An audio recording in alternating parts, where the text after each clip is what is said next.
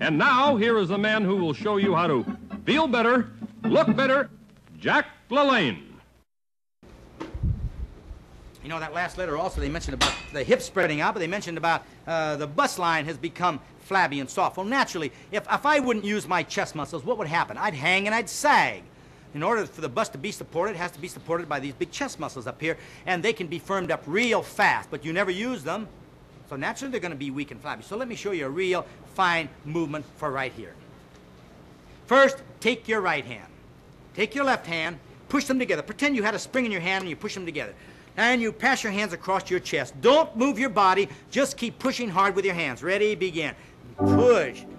Two and three and push and push. You're moving your see, you're moving your body back and forth. Just move your arms now and push together. Begin. Elbows high. And two and three and four and push and push and push and push and push and push and push and push and push and push and push and rest. That's it. Very good.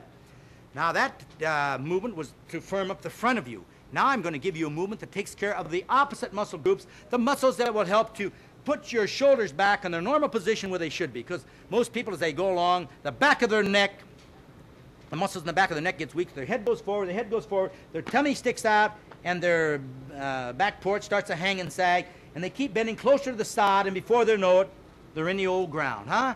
We have to stand tall and think tall. So I'm going to give you a wonderful movement to firm up the back of the neck and between your shoulder blades. This is also terrific for getting rid of nervous tension. Bend your knees. That's what I want. Bend over at the waist. Then way down. Good. Now don't move your body. Arms straight. Clench your fists. Lift your arms up as high as you can, then down again. Ready? Begin. One. Keep your head up. Two. Head up a little higher, students. That's it. Two. One, two, three, four.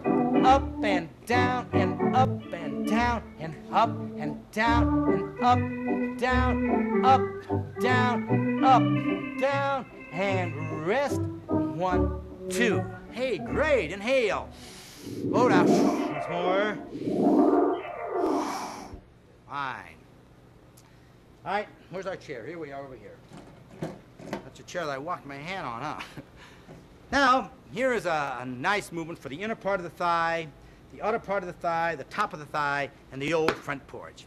Put your hand on your hip. First, the right leg. Extend it in front of you, then inscribe a circle. Just a little circle. Begin. Round and round, round and round and round and round. Now let's go the other way. You ready? Go. Round and round and round and round and rest. All righty. Now the left leg. Begin. Round. That left leg doesn't work as well as the right, does it? Round and round and round and round. My nose itches. What's happening? Run. Hut two and three and four and rest. All right. Very good. Now take your right hand, put it in front of you, and inscribe a circle. This is for your shoulders and your bust line. Begin. One, two, and three, and four. Reverse. One, two. Pardon me for laughing, but I'm going to try and mix you up here. Re that's it. Around, then round, reverse. Around, and round, and round, and rest. Now put your right leg out in front of you, your left arm out in front of you, and inscribe a circle. Let's go. One, two, opposite ways. Two, and three. it's good for your reflex and coordination. Gets you thinking. Very good. Now let's do the other way around. Ready? Begin. Round, and round, and round, and round, and round, and round, and round, and round, and rest. That's it. Inhale. Hold out. Once more. Come here. Look at me real close. Listen to me. Don't you feel 100% better?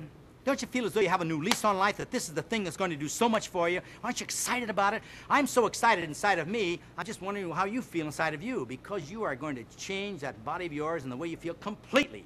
Will you please be seated for just a second for something that's going to mean so much to you? If you appreciate what this dedicated man is doing for your health and figure, then tell a friend about the Jack LaLanne Show, this channel daily.